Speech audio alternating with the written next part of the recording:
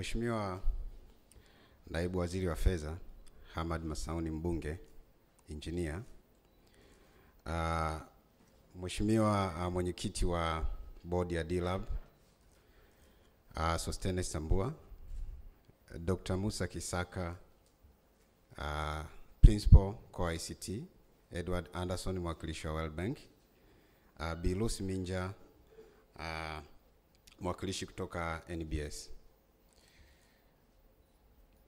Mabibi na mabwana, naomba niwasalimie kwa jina la Jamhuri ya Muungano wa Tanzania. Nashukuruni sana.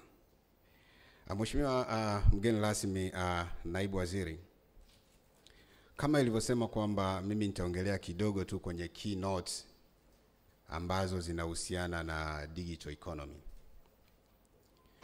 Uh, moja, kwanza naomba nitoe pongezi zangu kwa DIRAB kwanza kwa kuja na hii theme au kauli mbiu ya data tamasha ya kuangalia digital economy.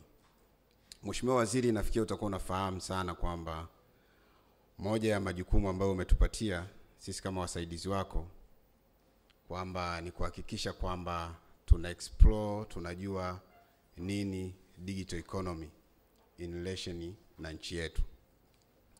Kwa sasa hivi kama serikali, kama wizara tumekuwa tukifanya emphasize, tumekuwa tukiongea sana kuhusiana na digital economy, lakini watu wengi wamekuwa wakifikiria digital economy katika hali tu ya kawaida ya kuiangalia ambavyo wanaiona. Kwa hiyo kwa ufupi ni kwamba digital economy ina definition tofauti tofauti, na mara nyingi ni kila mtu anaidefine digital economy kulingana na ambavyo yeye anafikiria au katika engo ambayo anaiangalia. Uh, European Commission uh, defined the digital economy as an economy based on digital technologies. Hiyo ndo yeye amemaliza, hiyo ndo definition yake. Lakini uh, the World Economy Forum yeye anasema the digital economy kwamba ni broad range of economic activities complies all job jobs in digital sector as well as digital occupations in non-digital sectors. Sasa na sisi Tanzania tunaidefine vipi? Kwa hiyo na sisi tuna definition yetu, na kwamba tunaangalia ni namna gani ambayo hiyo definition yetu tutaona kwamba ina base. Kwa sisi tunaiangalia digital economy ni kwamba ni activity zote zile za kiuchumi ambazo zinakuwa zinaendeshwa kidigitali. Sasa tukishaingia kwenye hiyo definition, kuna terminology mbili tu ambazo zinajirudia hapa. Terminology ya kwanza ni digital na terminology ya pili ni economy. Sasa ukiangalia kwa upande wetu kama nchi, tumekuwa tukijaribu kuangalia ni namna gani tunaweza tukaenda na huu uchumi wa kidigitali. Sasa tukijiuliza mipaka ya digital economy iko wapi, bado inakuwa ni challenge. Let's assume uh, a bank without a computer. It's not possible katika world ya sasa hivi. Is that a digital economy? Some will say yes, some will say no. Kwa sababu uh, computers zilikuwepo toka siku nyingi hata kabla ya hizi terminology za digital economy kuja. Lakini mwingine anakuuliza ile songesha ambayo inatolewa na Vodacom, is that digital economy? Kwa hiyo kuna maswali ambayo yana yanaingia, lakini kwa lugha rahisi zaidi ambayo sisi tunaiangalia kwenye digital economy, tunaangalia ni kwamba zile activity ambazo tunaziona au tunazifanya kama serikali au private sector zitakazokuja kusaidia kuongeza pato la nchi. Tunaongelea GDP na vitu kama hivyo. Hizo ndo activity ambazo tunazitem kama uh, digital economy, kwamba tuangalie uchumi wetu ni namna gani ambavyo unaweza kukua kwa kutumia kwa kutumia technology. Sasa kwenye kwenye digital economy kuna baadhi ya vitu tunaviita enablers. Sasa hizi enablers zimegawanyika na kila mtu anaziangalia katika engo yake, lakini one of the most uh, enabler kwenye digital economy ni infrastructure, na when I'm talking about infrastructure naongelea physical infrastructure, naongelea pia pamoja na digital infrastructure. Kama serikali, kama tunaongelea digital economy, kama tunaenge, tunaongelea transactions nyingi zitokee kwenye uh, uchumi wa kidigitali, tunategemea tuwe na mabarabara, tunategemea tuwe na tuweze kufikia wananchi kiurahisi zaidi. Kwa mfano, mtu akiagiza kitu chake kiweze kumfikia vizuri zaidi, lakini tunaongelea infrastructure zingine kama network infrastructure. Tunashukuru kwamba tumekuwa na uh, makampuni ya simu ambayo yameweza kutufikisha kutufikishia mawasiliano mpaka mpaka vijijini, na ndio maana tunakutana na vitu kama USCAF, lakini lengo kubwa ni kwamba tunafikisha yale mawasiliano, sisi tunaweza tukayaangalia katika kwa katika sehemu ndogo ya kwamba tunataka kuwasiliana kwa simu peke yake, lakini tunaiangalia na data inayokuwa generated from that. Kitu cha pili katika enabler ni digital platforms. Sasa tunazo hizo digital platforms ambazo zitatusaidia kufika kwenye uchumi wa kidigitali. Kama dunia, hizi platform ndo tunaongelea hizi social media, tunaongelea hizi platform tulizo nazo, lakini vile vile tunaongelea another enabler, tunaongelea payment, digital payment. At the country tumejaliwa sana kuwa na mobile payment ambazo kwa kweli zimetutofautisha na watu wengi, tumeweza kufikia watu wengi zaidi. Kwa maana ukiangalia kwa ujumla wake ni kwamba sasa nchi tayari tuko kwenye tuko kwenye uchumi wa kidigitali, sababu hizo ndio enabler zenyewe. Lakini enabler nyingine ni digital skills. Do we have those skills which needed to make a digital economy? Sasa ndo ukiangalia kwa serikali ni nini ambacho tuna, ameongea vizuri sana Dr. Kisaka, wameona mbali, wameanzisha a masters ya data science. Kama serikali sisi ambacho tunakifanya au kama wizara ya fedha sisi tuliona mbali. Kwa wastani sasa hivi kama serikali tunakusanya data ambazo uh, transaction ambazo ni approximately 2 million a day, yani zile data ambazo tunazikusanya hizi zinakusanywa kutokea kwenye payment system, tunazikusanya. Just think of this one, data yoyote ile ambayo sasa hivi inakusanywa kwenye parking, hospitali, uh, passport unalipia, anything that you do, hiyo data sasa hivi serikali tunaipata. Kwa hiyo ndio maana uh, Dr. Kisaka pale ameeleza vizuri kwamba sasa wakaamua kuangalia, je, tunaitumiaje hiyo data? Hicho ndio kitu ambacho sasa sisi tuna tunakiangalia kama serikali, kwa sababu ni kweli kwamba ukiangalia kwa mfano, nikichukulia mfano mdogo tu kwenye seva ambazo zinalani mifumo yetu kama GPG, tunapata hits hits za seva zaidi ya milioni sita, na nikisema hizo ni per day, milioni sita per day. Hizo ni hits ambazo zinakuja kwenye kwenye kwenye seva zetu, lakini at the same times tunakusanya logs ambazo zenyewe zinaweza zikatengeneza mpaka 10 GB a day. Hizo zote ni data, hizo zote zinatakiwa ziwe analyzed ili tuweze kuenda kwenye ule uchumi wetu wa kidigitali. Kwa hiyo kama serikali na sisi tumeamua sasa kusomesha wataalamu wetu. Kama Wizara ya Fedha tayari tulishapeleka wataalam. Of course nimefurahi kwamba sasa hivi masters inapatikana hapa, lakini kama serikali mwaka jana tulipeleka wataalamu wawili UK kwa ajili ya kupata uh, kusomea big data, uh, artificial intelligence pamoja na data analysis.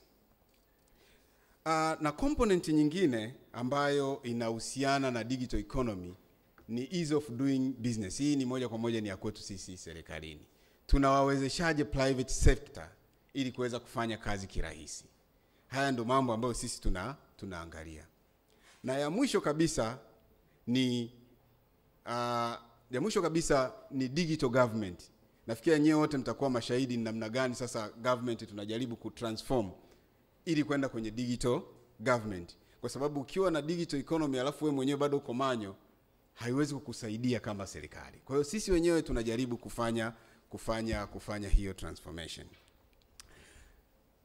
Uh, kuna kitu kingine ambacho ni muhimu zaidi kwenye kwenye kwenye kwenye digital economy ambacho sasa nafikiria ni kwamba hii inakwenda pande zote, kwenye serikali inakwenda na kwenye private, ni trust and security. trust imekuwa ni key sana. Mimi leo hii nikiamua niingie kwenye platform yoyote nikaanza kufanya kazi au nikaamua kwamba nikatumia nikamtumia mtu mobile money alafu ile hela isifike nisirudishiwe kwa wakati, moja kwa moja naondoa ile trust. Leo hii nikija nikiangalia kwamba information yangu ambayo niliitoa NIDA au niliitoa uh, uh, uhamiaji, kuna mtu mwingine anaiaccess, moja kwa moja will not trust that, info, that, that organization. Na ukisha ukishaondoa trust, it means hawezi kumconvince mtu. Kwa hivyo ni vitu ambavyo kama serikali sisi tunaviangalia. Trust na security ni key sana. Sasa kama Wizara ya Fedha au kama serikali tumefanya nini initiative za digital economy? Uh, uh, director wa D-Lab alisema vizuri kwamba kwenye National 5 Year Development Plan imeongelea very key points za digital economy, na moja ni kwamba tuna focus kwenye big data, automation, artificial intelligence na vitu vingine ambavyo viko related na, na digital economy. Hii iko very clear kwenye, kama mnaweza mkaipata ile, mtaweza mkaiona kwamba kwenye 5 year uh, development plan tumeielezea kama serikali. Lakini pia kama mtakuwa mnaelewa kwamba kuna kitu tumeanzisha Financial Sector Development Master Plan. Hii ni master plan ambayo ina, inaonyesha ni vision ya government kwenye, kwenye eneo zima jinsi gani tunaweza tukapromoti application ambazo zinaendana na information technology. Lakini sio hivyo tu, kama serikali chini ya Wizara ya Fedha tumeweza uh, ku, kuanzisha, tulianza kuanzisha National Digital Economy Strategy. Hii ilikuwa ni 2017 ambapo ilikuwa nilikuwa na champion kwenye idara yangu, lakini baada ya kuanzisha idara mpya, wizara mpya ya TEHAMA, sasa tumeianzisha tumeihamishia kule. Lakini hii inaenda na moja ya key component muhimu sana, inaitwa Digital Tanzania Program. Nafikiri mtakuwa mmeisikia somewhere. Digital Tanzania Program ina vitu vingi na hii ni chini ya ufadhili wa World Bank, sio ufadhili, actually ni mkopo wa World Bank ambao sasa wenyewe unaenda kubadilisha kuwafikia watu wote. Ime contain key components tano ambazo zipo kwenye huo huo mradi. Ukiangalia kwenye huo mradi tunaangalia kwamba moja ni digital ecosystem, digital connectivity na digital platform and services. Kwa hiyo hapa tunavyoviangalia ni nini? Kwamba tunataka tunajua kwamba tumefikia sehemu nyingi, lakini je, tumewafikia hawa watu kirahisi? Lengo la serikali kwanza, moja, tunataka kwamba kila kata ikiwezekana iwe na fiber, yani iwe well connected. Leo hii tunatengeneza mifumo kama serikali, private sector, wana, tunawafikiaje wananchi? Lakini kuna key nyingine component ambayo mtakuwa mmeisikia ambayo inaitwa ni postal code. Nafikiri mtakuwa mmesikia. Lengo ni hili hili kwamba tunaenda kwenye uchumi wa kidigitali. Postal code tulikuwa tunaongelea ni kwamba tutafikiaje watu. Leo unanunua mzigo, unakufikiaje? Mimi bahati nzuri naishi karibia na kituo cha polisi, kwa hiyo nitamwambia tu njoo kituo cha polisi Kawe, atanifikishia mzigo. Je, yule mwingine ambaye haishi karibu na kituo cha polisi anafikishiwaje mzigo? That's where we come with the postal code. Na nafikiri mtakuwa mta, mta mnafahamu kwamba Mheshimiwa Waziri uh, wa Mawasiliano last week alilaunch postal code Mwanza lakini lengo ndo huko huko tunakoenda kwenye nini, kwenye kwenye digital economy. Lakini kuna kitu kingine kikubwa ambacho tumekiweka ni capacity building kwenye digital economy related cause. Niliongelea mwanzoni, one of the one of the enabler ni uh, ni skill, digital skills. Do we have that skill? Now we are building that skill.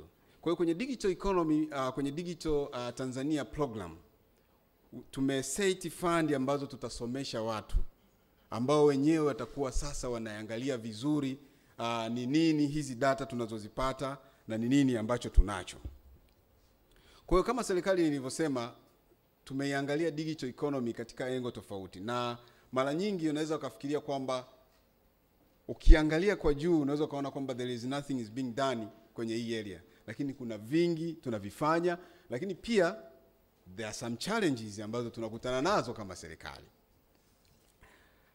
Uh, ukiangalia sasa hivi tunatengeneza kitu kinaitwa uh, ni ESB, Enterprise Service Bus. Na lengo la hii ni kwamba tumegundua kwamba mifumo yetu mingi kama serikali kwa ujumla wake tunahitaji kuwa na kitu kimoja ambapo tunaweza tukapata. Yaani mfano, sio lazima wewe ambaye unataka data za NIDA, data za RITA, data za na data za labda Wizara ya Fedha kwenda kwenye hizi taasisi zote tatu. Hapana, we are building a platform for sharing this information. We will have a private part ambayo itakuwa ni within the government and then we will have another part which is public. Ambayo sasa zile API na vitu vyote vile ambavyo vitakuwa vinahusika vitakuwa vina vinatolewa vina, vinakuwa shared moja kwa moja kwa wananchi. Na hichi tunafanya moja kwa moja kwa ushirikiano mkubwa sana na e-government agent pamoja na, na, na, na taasisi zingine za serikali, lakini lengo kubwa ni kwamba we need one stop ya data za serikali. Zile ambazo ni public zitakuwa shared public na zile ambazo ni private zitakuwa within the, uh, the private uh, uh, uh, ndani ya nani, ndani ya serikali. Sasa kuna challenge ambazo tunakutana nazo kama nilivyosema mwanzoni, ni kwamba serikali hatujalala kuangalia hii digital economy, lakini pia kama waliokuwepo kwenye kofi mkutano ambao ulifanyika Dodoma, governor alikuwa very clear about cryptocurrency. It does not mean that we don't know what is going on behind cryptocurrency. We know. Alisema vizuri gavana kwamba sio rahisi kuingia kwenye mchezo ambao hujui sheria. Kwa hiyo kama hujui zile kanuni za mchezo, ukiingia obviously utashindwa. Lakini kama government we have invested a lot in this area.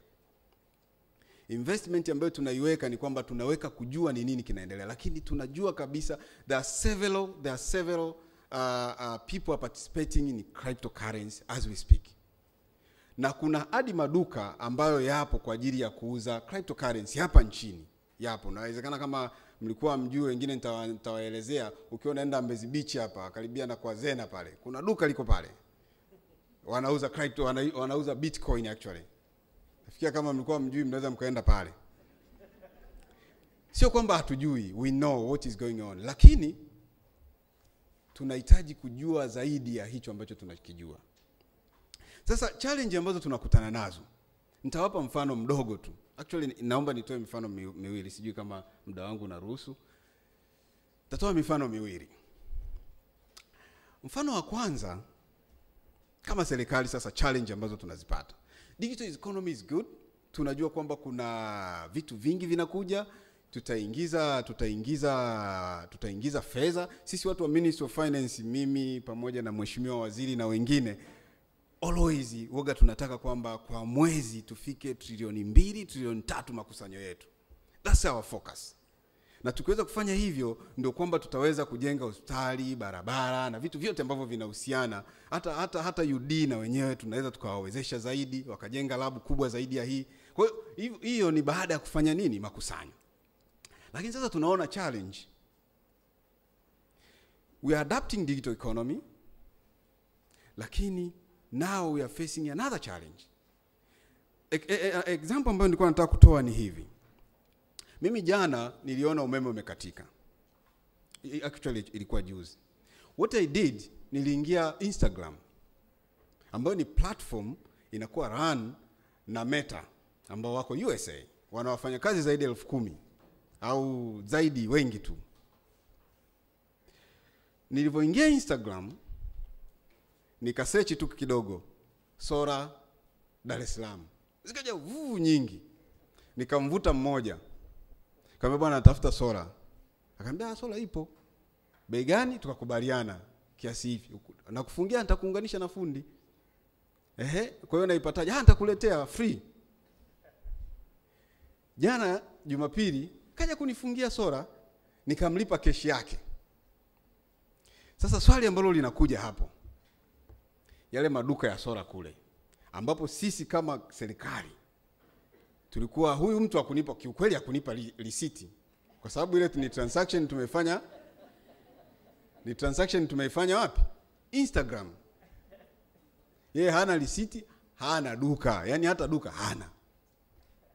Sasa hapo kama serikali ndo, that's the challenge we have. How are we going to collect our tax on that part? kwa sababu inavyoendelea sasa hivi itaendelea itaendelea, yale maduka ya sola na wenyewe watafanyaje? watakaa pembeni, wanaingia kwenye Instagram.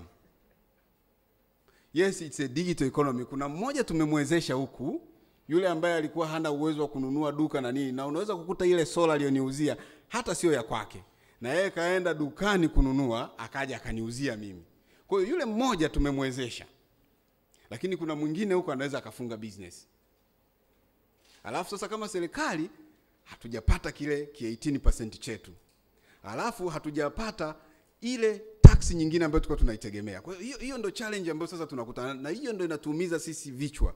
Mimi background yangu ni IT na bahati nzuri nimekulia hapa hapa, nimefanyia degree yangu ya kwanza computer science, PhD yangu nimefanya juzi juzi tu, Dr. Kisaka pale ndo amenikabidhi. Kwa hiyo tuna tuna challenge sasa sisi kama wataalamu na nyie sasa wataalamu wa data, ndio maswali ambayo mnatakiwa muisaidie serikali. How do we tax that? Nakuja mfano wa pili, wa pili na wa mwisho.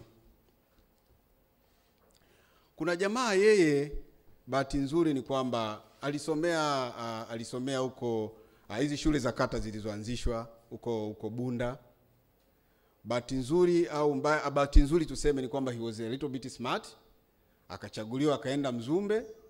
Alivyomaliza Mzumbe akaenda UD akafanya computer engineering kamaliza computer engineering, katika purukushani zake za kutafuta kazi akakutana na watu wanaitwa Upworks. Nafikiri mnawafahamu Upworks au freelancer, kwa sababu is very good, is very good, he can deliver on time, he can do anything. Akapata kazi ambazo hakuhitaji kuajiriwa tena. Kwa hiyo yeye alichofanya ni kwamba anamaliza Upwork hii ana, ana, analeta nyingine, anamaliza hii, alafu sasa the good thing is they can pay you in cryptocurrency they can pay you through PayPal they can pay you the way you want. It's good kwamba this guy got what? A job. Na ni wengi sio mmoja ni wengi. Hata wengine wanafikia kwenye Upwork kule ukiingia wale wanaotafasiri Kiingereza Kiswahili wengi nafikia ni Watanzania they are doing it. Mheshimiwa Waziri kama ulikuwa ufahamu there's a lot there which is going on behind. This guy analipwa through PayPal na ana uwezo wa kufanya transaction zake. Na huyu jamaa yeye anaishi zake Kigamboni kule. Na juzi kama unakumbuka, serikali ilisema kwamba umeme kamaliza kujenga nyumba yake, umeme anafungiwa kwa elfu ishirini na saba. Kwa hiyo kaenda TANESCO elfu ishirini na saba akafungiwa umeme. Sasa ukiangalia hivi kweli ishirini na saba ile ndo analipa. Sasa where do we get our payers when? Where is our payers earn? Where is our payers we earn? Where is our tax? Hizo tax tunazipata wapi? How do we how do we subsidize hii 27 aliyolipa? Na anaenda comfortably na elfu 27 yake. Tena anatoa elfu thelathini anarushiwa change elfu tatu. Sasa hiyo ndo challenge kama serikali tunaipata. Na hiyo ni kwamba with the data that we are collecting that's are the questions that we need to solve at the government. Sasa ukiangalia kwa, kwa, kwa, kwa ufafanuzi huo ni kwamba serikali tunaona na kwa ukubwa wake sasa tunajaribu kuangalia ni namna gani we can solve this problem. Kwa hiyo kiufupi zaidi na tuna encourage tuna encourage private third parties na wengine kuishauri serikali on the best approach. Tunashukuru sana, tumekuwa tukifanya kazi na FSDT ambao wenyewe wamekuwa wakidhamini sana hii digital economy, lakini pia tuko tayari kufanya na, na taasisi zingine ambazo zinaweza kutusaidia sisi kama serikali kuangalia namna gani ya kuweza kudili na digital economy tukafaidika wote, tunaita win-win situation. Asanteni sana.